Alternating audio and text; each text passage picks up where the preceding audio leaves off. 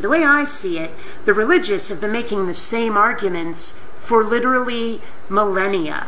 For more than 2,000 years, they've been making the same arguments at people. And we're only just now scrambling to catch up, we atheists.